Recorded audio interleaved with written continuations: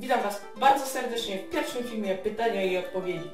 Zadaliście bardzo dużo pytań, mamy wydrukowane na dwóch kartkach A4. Zadaliście ich ponad 30, niektóre nie nadawały się do upublicznienia w tym odcinku oraz niektóre się powtarzały. E, postarałem się wybrać te najbardziej ciekawe, żeby ten odcinek też nie był zbyt długi, tak więc zaczynajmy. Pierwsze pytanie zadał Michał Vlog. Co zafascynowało Cię w survivalu? Od kiedy się tym zajmujesz? E, początek tego, od kiedy się tym zacząłem zajmować, to jest przełom 2008-2009 roku, kiedy to wstąpiłem do harcerstwa. E, o tym będzie też osobny filmik, bo myślę, że warto by było Wam o tym opowiedzieć. Koń Rafał zadał trzy pytania. Co byś zrobił, gdybyś pewnego dnia obudził się kobietą? Co ja bym zrobił? Na pewno chciałbym z powrotem zostać tym facetem i na pewno nigdzie bym nie wychodził, dopóki bym się nie stał. W jakim województwie mieszkasz? Dużo było pytań, gdzie mieszkamy. Podam wam tylko i wyłącznie województwo, więc nie pytajcie, nie męczcie. I osoby, które wiedzą, gdzie mieszkam, to proszę, żeby tego nie podawało. Ym, Mieszkam w województwie małopolskim, niedaleko stąd do Śląska. Ym, Nagrasz jakiegoś gameplaya? Nie, gameplaya nie nagram z powodu takiego, że próbowałem już go nagrać nieraz. Na innych kanałach miałem już cztery kanały, na których nagrywałem.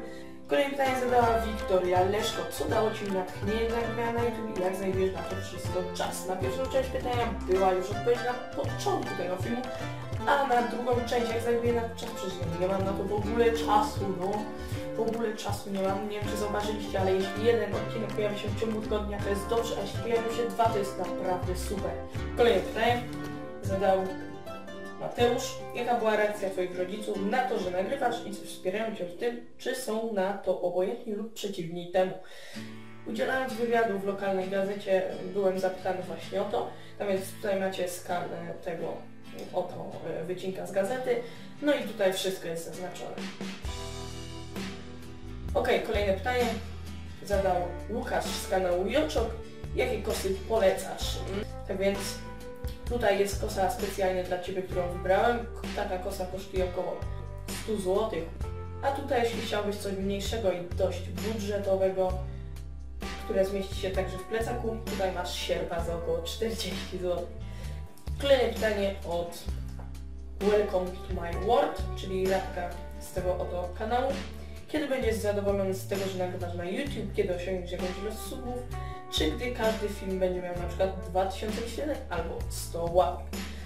Nie mam takiego e, limitu, czy też e, celu, dlatego że jeśli doszedłbym do takiego celu, albo musiałbym go znacznie podwyższyć, albo osiadłbym po prostu na la laurach, jak to się mówi, i wtedy na pewno, no nie wyszło to na dobre, bo przecież i tak teraz zajdzie się jeden, no maksymalnie dwa filmy w ciągu tygodnia.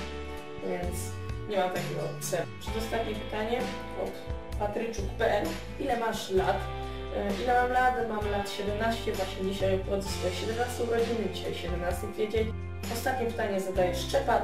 Co zrobisz jak zabłądzisz albo cię noc zastanie w lesie?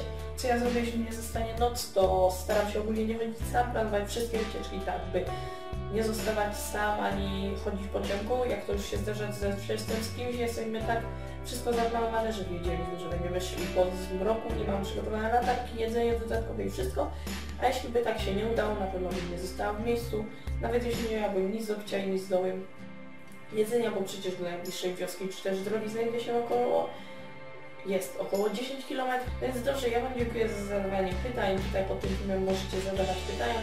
Zapraszam Was także do lajkowania tego filmu, do udostępniania go, subskrybowania mojego kanału. Do zobaczenia w kolejnych filmach. Cześć!